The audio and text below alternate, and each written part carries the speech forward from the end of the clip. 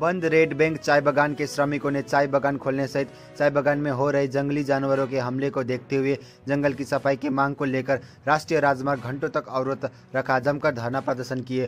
प्रशासन द्वारा बारी बारी अवरोधकारियों से बंद को खोलने के लिए बातचीत किया जा रहा है, लेकिन चाय श्रमिक किसी भी हालत में अवरोध नहीं उठाने की बात कर रहे थे। अवरोधकारियों का मन था कि जल्द से जल्द चाय बागान को खोला जाए और जंगल से ढका हुआ चाय बागान को साफ़ कर दिया जाए ताकि खूंखार जंगली जानवरों से चाय श्रमिकों का सुरक्षा हो।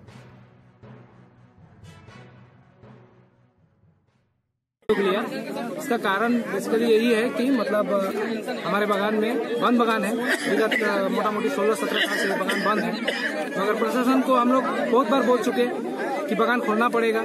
फिर अभी तो बगान में बहुत जंगल हो चुका है। उस जंगल होने के कारण यहाँ पे हाथियों का बसोबास हो गया। हाथी, बाघ मैंने बहुत तो बीते शुक्रवार को हमारे महिला कर्मचारी लेडीज़ सात आदमी गए थे बागान में।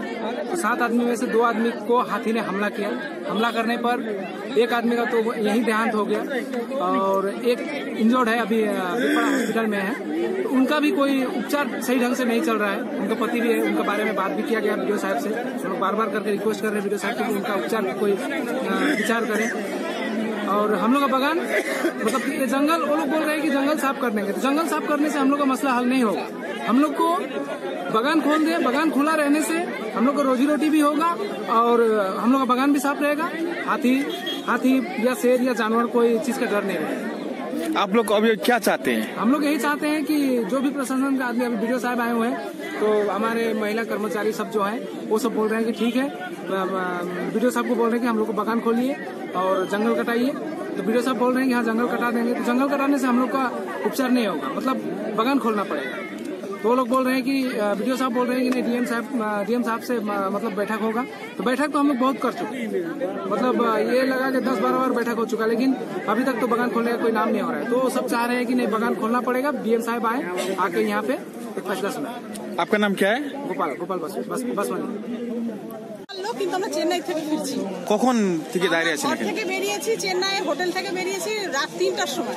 তিনটার সময়। কয়টার সময় থেকে এখানে এসেছিল আপনার? আমার উনি সাড়ে বারোটা সাড়ে বারোটা থেকে এখানে দাঁড়িয়ে আছি কোথায় বাড়ি আপনাদের? আমাদের জটেশ্বরে। বাড়ি। জটেশ্বর। এইখানে রোড অবরোধ হ্যাঁ আর এমন জায়গায় তখন তো প্রথমে আমরা বুঝতে পারিনি। গাড়ি ঢুকে গেছে এবার তো গাড়িটা ব্যাক করার কোনো উপায় নেই।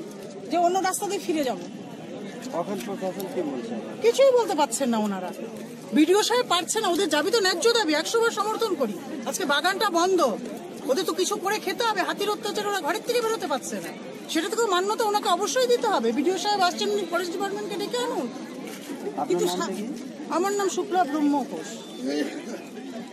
কোনো ব্যবস্থা নিচ্ছে এটা মেইন রোড এভাবে অবরোধ করা যায় পাঁচ ঘণ্টা ছ ঘণ্টা ধরে অবরোধ হয়ে